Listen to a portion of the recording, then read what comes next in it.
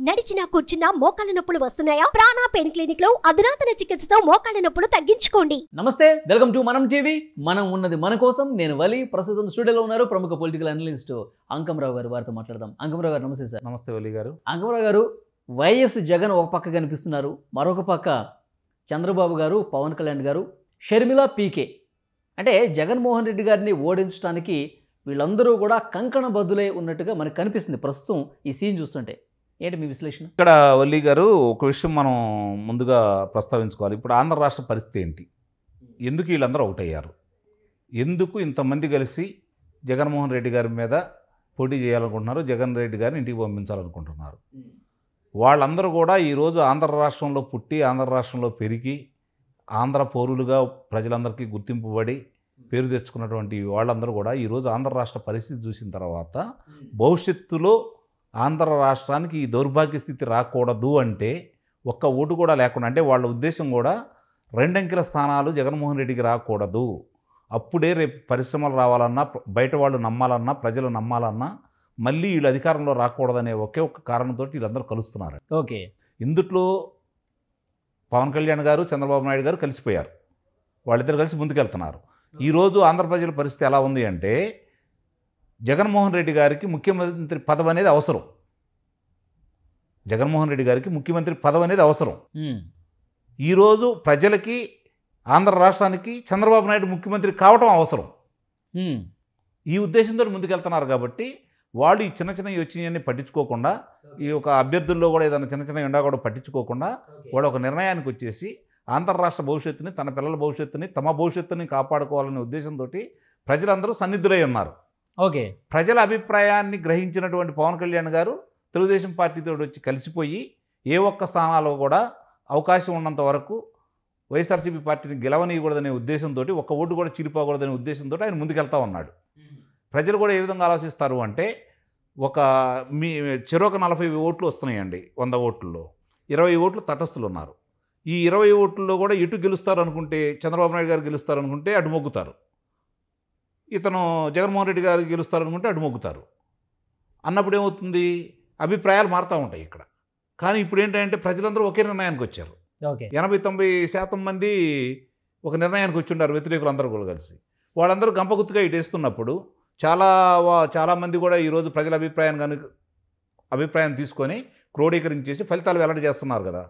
రేపు రాబోయే ఎన్నికల్లో తెలుగుదేశానికి ఇన్ని స్థానాలు వస్తాయి. లేకపోతే వైఎస్ఆర్సీపీకి ఇన్ని స్థానాలు వస్తాయి. ఇద్దరు కలిసి పవన్ కళ్యాణ్ గారు అని తెలుగుదేశం పార్టీ కలిసి పనిచేస్తే ఇన్ని స్థానాలు వస్తాయి అనే అభిప్రాయంతో ఉన్నారు కాబట్టి ప్రజలందరికి కూడా ఈరోజు ప్రజలు ఏమంటున్నారంటే మేము ముందు నడుస్తున్నాం మీరు వెనకమాల రండి అంటున్నారు పార్టీలని. ఇంతకుముందు ఏంటంటే నాయకులు ఏమంటే ప్రజలు నడిచేవాళ్ళు. ఆ పరిస్థితి పోయింది ఈరోజు ఆంధ్ర రాష్ట్ర పరిస్థితి. ప్రజలే ఆ రాష్ట్రాన్ని కాపాడుకోవడానికి సిద్ధపడ్డారు. ఆ ఇబ్బందులు అంటే ప్రజలకు అర్థమవుతా ఉంది. కాబట్టి ప్రజల మనోభావాలను గుర్తించారు కాబట్టి వీళ్ళిద్దరు ముందుకెళ్తా ఉన్నారు. ఓకే. అది గుర్తించిన కొంతమంది అజ్ఞానులు వాళ్ళు ఏదేదో మాట్లాడుకుంటా ఉన్నారు. అవన్నీ ప్రజలకు పట్టించుకోరు. ప్రజల అభిప్రాయం ఏంటో కూడా తెలుసుకోవాలి. వైఎస్ షర్మిల గారు కాంగ్రెస్ పార్టీలో జాయిన్ కాబోతున్నారు రేపు ముప్ప బాధ్యతలు స్వీకరించబోతున్నారని వార్తలు మనం చూస్తూనే ఉన్నాం. ఇప్పుడు కాంగ్రెస్ పార్టీలో వైఎస్ షర్మిల గారు బాధ్యతలు తీసుకుంటే ఇప్పుడు కొంతమంది ఆమెకు సపోర్టుగా కాంగ్రెస్ పార్టీలో జాయిన్ అయ్యి పోటీ చేస్తే ఇక్కడ మళ్ళీ ప్రభుత్వ వ్యతిరేక ఓటు చీలే అవకాశం ఉంది కదా. ఇప్పుడు టీడీపీ జనసేన వాళ్ళ ఉద్దేశం ఏంది? చీలకూడదని. ఇక్కడ మళ్ళీ ఇంకొక సెంటర్ తయారవుతుంది కదా. ఎట్లా ఇక్కడ దాని గురించి మీకు విశ్లేషణ చెప్పాలి నేను. ప్రభుత్వ వ్యతిరేక ఓట్లు మొత్తం గంపగుత్తుగా రేపొద్దున తెలుగుదేశం పార్టీ జనసేన పార్టీ పడబోతున్నాయి. ఇప్పుడు వైఎస్ఆర్సీపీ పార్టీ ఎక్కడి నుంచి పుట్టింది? ఏ పార్టీ నుంచి వచ్చారు ఓట్లన్నీ? కాంగ్రెస్ నుంచి. కాంగ్రెస్ పార్టీ నుంచి. కాంగ్రెస్లో రాజశేఖర రెడ్డి గారి అభిమానులు ఎక్కువ కదా. రాజశేఖర రెడ్డి గారి వల్లే కేంద్రంలో అధికారం ఉందనే భావనలో కాంగ్రెస్ పార్టీ ఉంది. అట్లాగే ఈ ఆయన అభిమానించే వాళ్ళందరిలో కూడా ఉంది కదా. నిస్సందేహంగా ఏదైనా వ్యతిరేక ఓట్లు చీల్చుకుంటే వ్యతిరేక ఓట్లు మొత్తం ఆయనకు వ్యతిరేకమైన పార్టీలు పడిపోతాయి. ఈ వైఎస్ఆర్సీపీ పార్టీలో నిజమైన రాజశేఖర రెడ్డి గారి అభిమానులు అనుకునే వాళ్ళు రాజశేఖర రెడ్డి గారి వల్లే కాంగ్రెస్ పార్టీ బతకగలిగింది కేంద్రంలో అధికారంలో రాగలిగిందని భావించే వాళ్ళందరూ కూడా నిజమైన రాజకీయంగా ఆలోచించే వాళ్ళు రాజశేఖర రెడ్డి గారి అభిమానులు అందరూ కూడా చీలి వైఎస్ శర్మిల గారికి కనుక కాంగ్రెస్ పార్టీ తరఫున పోటీ చేసినా లేకపోతే ఎవరితో కలిసి పోటీ చేసినా ఆమెకి వెళ్ళారనుకోండి ఇంకా నష్టపోయేది వైఎస్ఆర్సీపీ పార్టీయే కదా? ఓకే. వైసీపీనే చీలుతుంది. అంతే. వాళ్ళ ఓట్లు చీల్తాయి తప్ప ఈ ఓట్లు వెళ్ళి అటు పడవు. ఈ ఎప్పుడంటే నేను ఇందాక చెప్పినట్టుగా ఇందుట్లో ఏదైనా వ్యత్యాసం దగ్గరగా ఉన్నప్పుడు ఆలోచిస్తారే తప్ప ఈరోజు ప్రజలు నిర్ణయించుకున్నారు. ఇప్పుడు ఆయన ఏమనుకున్నాడు? నేను స్థానిక శాసనసభ్యులు మార్చి ఇక్కడ కాకపోతే అక్కడ వేరే స్థానాలు ఇస్తున్నాను. శాసనసభ్యులు మార్చాలని ఆయన అనుకుంటున్నాడు. ప్రజలు ఏమనుకుంటున్నారు? నిన్నే మారుద్దాం అనుకుంటున్నామయ్యా. నువ్వు ఎవరు మారిస్తే మాకేంటి? ఇష్టం వచ్చినట్టు మార్చుకో. నిన్ను మార్చడానికి మేము సిద్ధంగా ఉన్నామని చెప్పి ప్రజలు తీర్మానం చేసుకున్నారు ఇప్పుడు కాంగ్రెస్ పార్టీకి ఐదు స్థానాలు ఇచ్చినా అవి వైసీపీ స్థానాలే. అంతేనా? నాకు తెలిసి స్థానాలు వస్తాయని అను- అనుకోవట్లేదు కానీ ఒకవేళ వచ్చుంటే మాత్రం వైసీపీ.